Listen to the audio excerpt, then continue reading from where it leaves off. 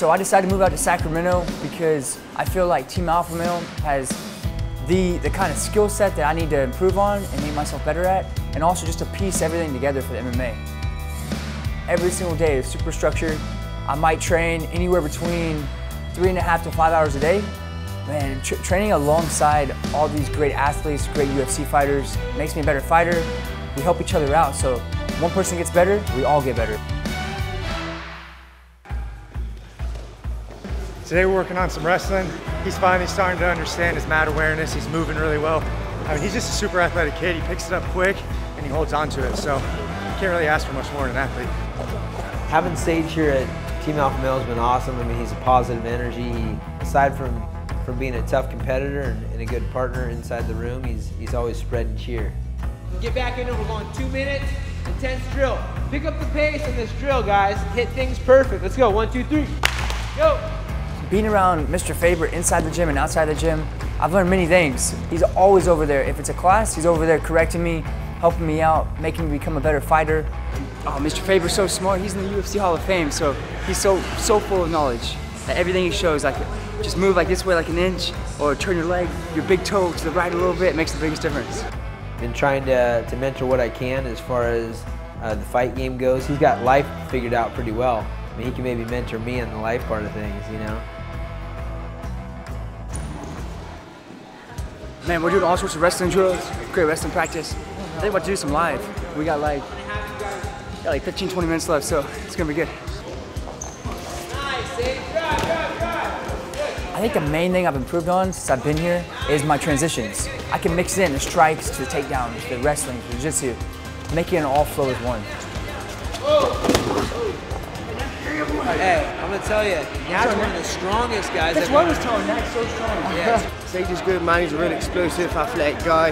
Uh, he's a tough spy, you know, keeps range well. He's got great kicks and striking, and obviously he's building a great game out here as well at Alpha Male.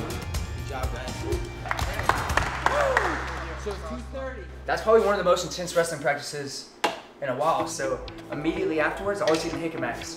Mr. Lee Labrada told me to take three at one time right after I train. So it's got the Hicka, the leucine in it. So right when I finish up, I just take them immediately, and then I make my recovery drink. My fight is coming up February 18th in Austin, Texas.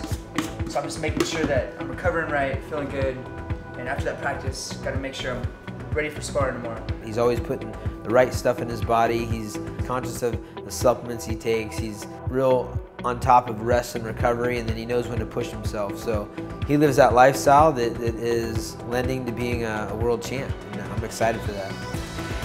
Got changed up, showered up, grab a quick little drink. Now I'm just uh, gonna get some weights in. It's a little workout.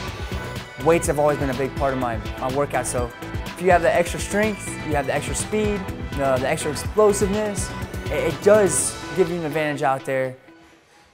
You know, I've worked with my boxing coach, Alex Gutierrez, since I was a little kid. This is my first chance I've actually had to be able to bring him out here to be able to train with me. Sage has very good athleticism. He's he has the ability to be first. Um, he has great reactional skills. He's like a sponge. He has a lot of natural ability. He's in the right place, the right team, and I think they're going to bring it all together. And I think his future is very bright. We're about to do uh, sparring practice. Today's Wednesday, so uh, probably get six five-minute rounds in.